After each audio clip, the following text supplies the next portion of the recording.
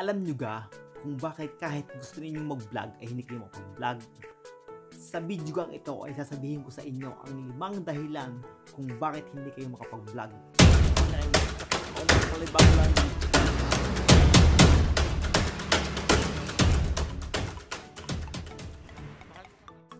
Magandang araw ho sa inyo mga kaibigan. Kung bago lang kayo din sa aking channel, ako nga ho pala si Kaloy. Sa channel na ito ay pag-uusapan natin ang lahat ng aking matutunan dito sa iyo pagiging YouTuber at sa pagbablog. Ano, ituturo ko sa inyo lahat ang aking matutunan. Kung interesado ho kayo, eh huwag niyo naman kalimutan i-like at subscribe ang aking channel. Ano, pakipindot na rin yung bell na iyan para malaman ninyo pagka may bago akong video ay siya atin ang umpisahan niyan para hindi tayo magtagal ano. Unang dahilan kung bakit hindi kayo makapag-vlog.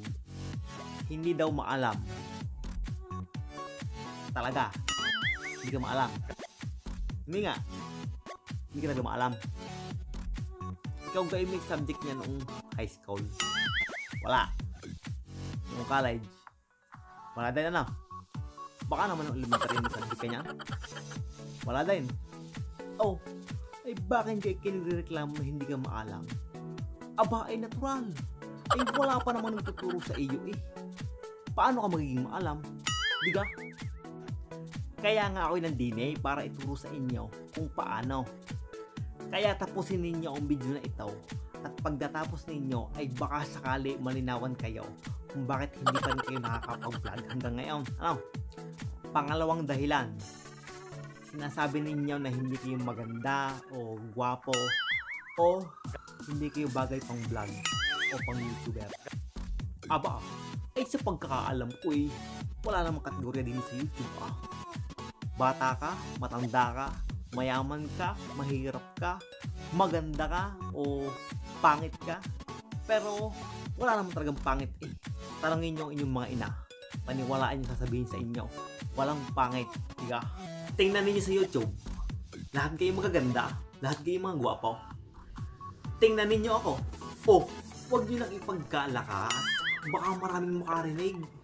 Alam kong ako yung magandang lalaki, sabi ng aking ina. Paniwalaan nyo sabi ng inyong ina. Kaya huwag kayo ma-discourage kung ano kayo. Ipakita ninyo na kaya ninyo.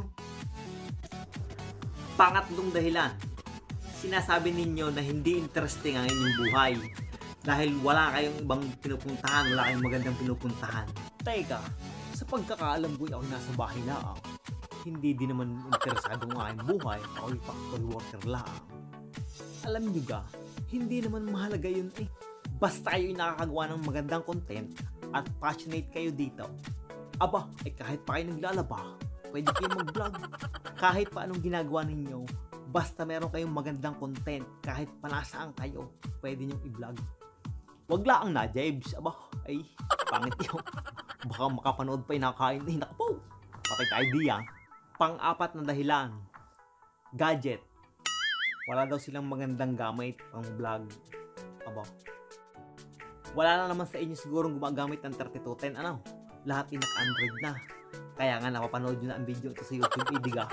Alam nyo ga, na yung cellphone nyo iyan, eh, pwede na yung gamitin. Maganda nang gamitin iyan. Kahit sipi lang muna kung wala kayong pambili. Tapos kung nung magkakapera kayo, o saka kayo bumili ng tripod at saka ng mic, marami namang nag-umpisa na sipi lang ang gamit. Ako nga sipi lang din ang gamit ko eh, diba? Panglimang dahilan, nahihiyang magsalita o humarap sa camera. Alam nyo ga, pinapraktis yan para maging natural ang pagharap niya sa camera. Para makita mo kung ano mga dapat mong baguhin ng boses mo o yung pagtingin mo sa lente ng camera. Baka kasi sa lente, baka kasi sa monitor ng cellphone ka tumingin, hindi sa lente ng camera mo. Maganda siguro, baligtarin nyo na lang yung cellphone nyo ano, para yung lente lang talagang titingnan nyo. Hindi na kayo mag-distract doon sa monitor para hindi nyo na laging titingnan yung sarili nyo kasi alam ko naman conscious din kayo sa sarili nyo, diga? Ay siya, ay sana'y nakatulong sa inyo ang aking video ito. Ay kung inyo nagustuhan ay paki-like naman at paki-subscribe. Huwag niyo rin kalimutang pindutin yung bell na iyan para alam niyo pagka kami bagong video. Ano? Salamat sa panonood. Kita-kita tayo sa susunod kong video. Ano?